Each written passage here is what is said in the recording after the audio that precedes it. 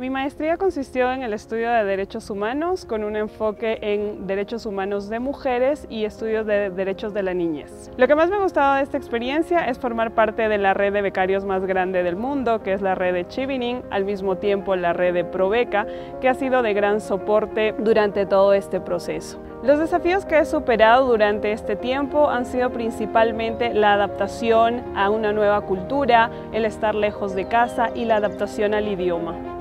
Me gustaría contribuir al desarrollo de Cajamarca, particularmente al desarrollo de la Encañada y del pueblo de Chanta Alta, con el reconocimiento de los derechos humanos de la mujer, promover la igualdad de género, evitar y prevenir la, la violencia contra la mujer, que es una problemática tan grande en nuestra ciudad. A los interesados e interesadas en postular a la beca, les recomiendo eh, prepararse con mucha anticipación, ya que es un proceso largo de aproximadamente ocho meses. Entonces, además de los requisitos que se requieren para postular a las universidades y a la beca, se necesita muchísima resiliencia. Sin embargo, todo es posible.